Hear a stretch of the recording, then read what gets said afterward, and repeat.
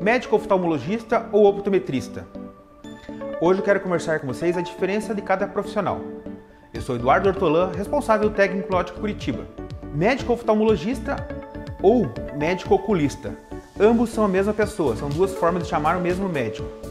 Eles tratam de patologias do olho humano e de refração do olho humano. É um médico formado com CRM, Conselho Regional de Medicina, que trata da patologia do olho humano, as suas doenças, e vai tratar do grau que você vai usar para o seu óculos ou sua lente de contato. O optometrista ele é formado numa outra profissão, não é médico, e ele trata especificamente sobre refração do olho humano. Basicamente, as diferenças são essas. Um trata da refração e da patologia e o outro somente da refração. O optometrista é uma profissão pouco praticada no Brasil. Ela ainda é pouco difundida e com algumas restrições. Ele tem que ser formado também em uma, uma universidade, que tem várias no Brasil hoje, mas é pouco popularizado.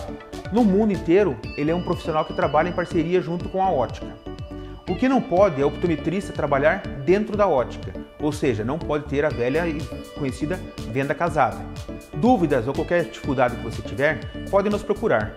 Nós estamos em dois endereços em Cascavel: Ótica Curitiba, na Rio Grande do Sul, esquina com Carlos Carvalho, e Ótica Curitiba, no Calçadão do Brasil, ao lado da Riachuelo. Grande abraço, valeu!